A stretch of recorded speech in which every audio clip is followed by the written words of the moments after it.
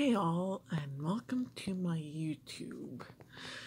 Today is Friday, February the 25th, sorry, 26th, um, 2021. Um, Gospel of Matthew, chapter 26, verses 1 through 75. Yes, you heard right. It is 75 verses. And we're also in a new book. Make sure to check out my other videos and my playlists as well. I have stories, I have poems, I have prayers, I have music, I have chess, I have silly videos, I have teaching videos, I have like, yeah, anything under the sun. So let us begin.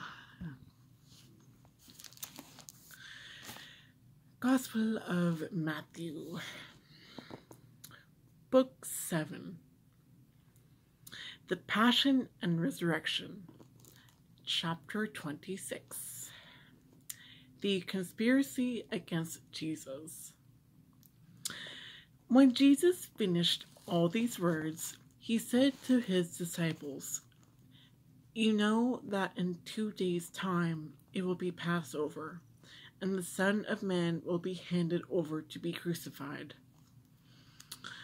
Then the chief priests and the elders of the people assembled in the place of the high priest, who was called Caiaphas, and they consulted together to arrest Jesus by treachery and put him to death. But they said, Not during the festival that there may not be a riot among the people. The anointing at Bethany.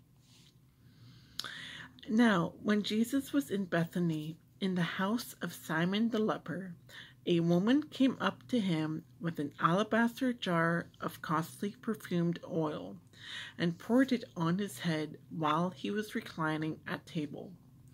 When the disciples saw this, they were indignant and said, why this waste? It could have been sold for much, and the money given to the poor. Since Jesus knew this, he said to them, Why do you make trouble for the woman? She has done a good thing for me. The poor you will always have with you, but you will not always have me. In pouring this perfumed oil upon my body, she did it to prepare me for burial. Amen, I say to you, wherever this gospel is proclaimed in the whole world, what she has done will be spoken of in memory of her. The betrayal of Judas. Then one of the twelve, who was called Judas Iscariot, went to the chief priests and said, What are you willing to give me if I hand him over to you?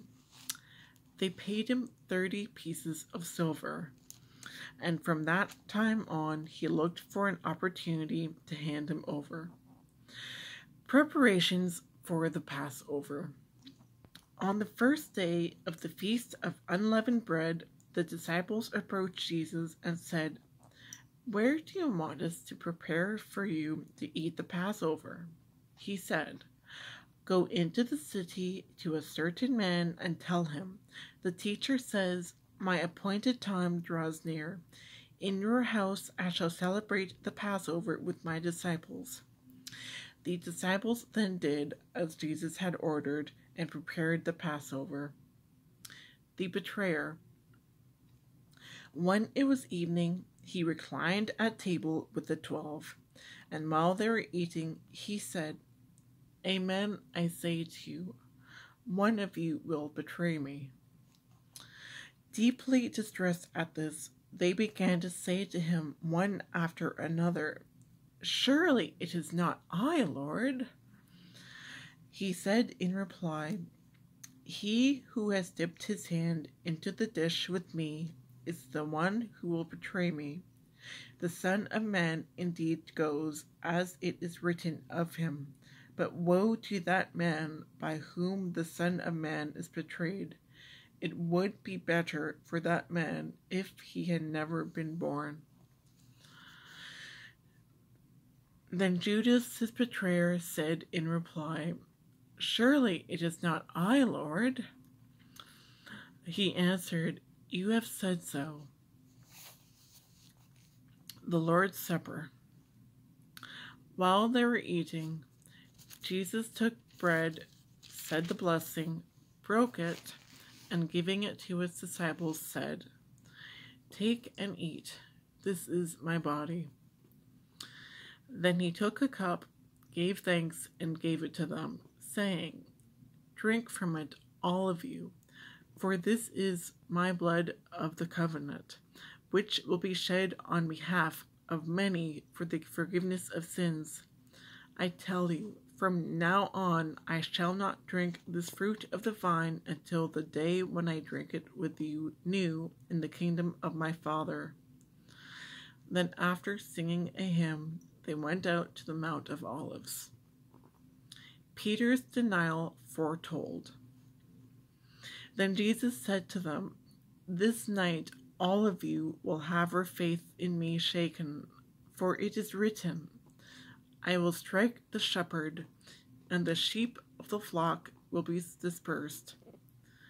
But after I have been raised up, I shall go before you to Galilee.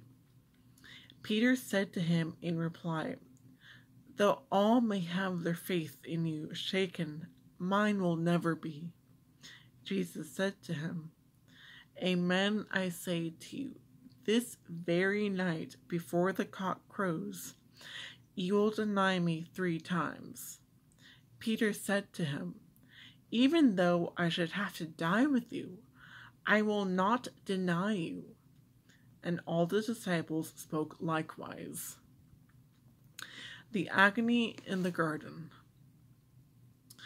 Then Jesus came with them to a place called Gethsemane, and he said to his disciples, Sit here while I go over there and pray. He took along Peter and the two sons of Zebedee and began to feel sorrow and distress. Then he said to them, My soul is sorrowful, even to death. Remain here and keep watch with me.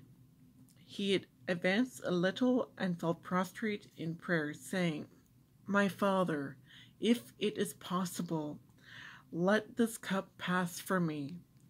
Yet, not as I will, but as you will.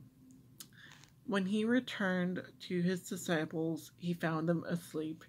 He said to Peter, So you cannot keep watch with me for one hour? Watch and pray that you may not undergo the test. The spirit is willing, but the flesh is weak. Withdrawing a second time, he prayed again, My Father, if it is not possible that this cup pass without my drinking it, your will be done. Then he returned once more and found them asleep, for they could not keep their eyes open. He left them and withdrew again and prayed a third time, saying the same thing again. Then he returned to his disciples and said to them, Are you still sleeping and taking your rest? Behold, the hour is at hand when the Son of Man is to be handed over to sinners. Get up, let us go.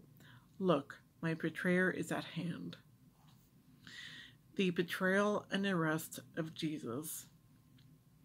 While he was still speaking, Judas, one of the twelve, arrived, accompanied by a large crowd with swords and clubs, who had come from the elders and chief priests of the people. His betrayer had arranged arranged a sign with them saying, The man I kiss is the one. Arrest him. Immediately he went over to Jesus and said, Hail, Rabbi, and kissed him. Jesus answered him, Friend, do what you have to come for. Then, stepping forward, they laid hands on Jesus and arrested him.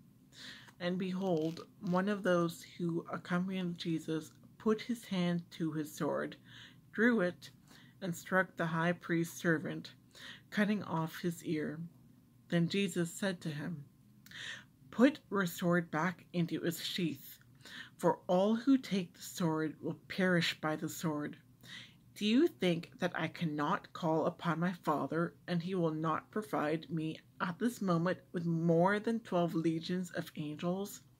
But then, how would the scriptures be fulfilled which say that it must come to pass in this way?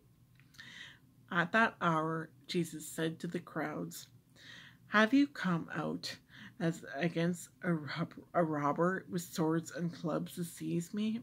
Day after day I sat teaching in the temple area, yet you did not arrest me. But all this has come to pass that the writings of the prophets may be fulfilled. Then all the disciples left him and fled. Jesus before the Sanhedrin. Those who had arrested Jesus led him away to Caiaphas, the high priest where the scribes and the elders were assembled. Peter was following him at a distance as far as the high priest's courtyard, and going inside, he sat down with the servants to see the outcome. The chief priests and the entire Sanhedrin kept trying to obtain false testimony against Jesus in order to put him to death, but they found none, though many false witnesses came forward.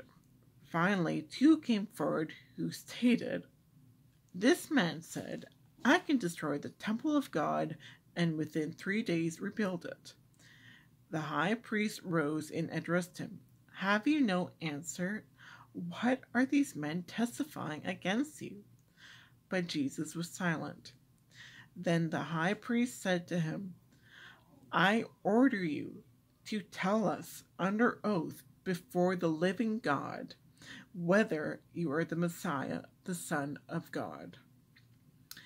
Jesus said to him in reply, You have said so, but I tell you, from now on you will see the Son of Man seated at the right hand of the power and coming on the clouds of heaven. Then the high priest tore his robes and said, he has blasphemed. What further need have we of witnesses? You have now heard the blasphemy. What is your opinion? They said in reply, He deserves to die. Then they spat in his face and struck him, while some slapped him, saying, Prophesy for us, Messiah. Who is it that struck you? Peter's denial of Jesus. Now Peter was sitting outside in the courtyard. One of the maids came over to him and said, You too were with Jesus the Galilean. But he denied it in front of everyone, saying, I do not know what you're talking about. As he went out to the gate, another girl saw him and said to those who were there, this man was also with Jesus the Nazarene. Again he denied it with an oath. I do not know the man. A little later, the bystanders came over and said to Peter, Surely you too are one of them. Even your speech gives you away. At that, he began to curse and to swear, I do not know the man and immediately a cock crowed. Then Peter remembered the word that Jesus had spoken Before the cock crows, you will deny me three times. He went out and began to weep bitterly.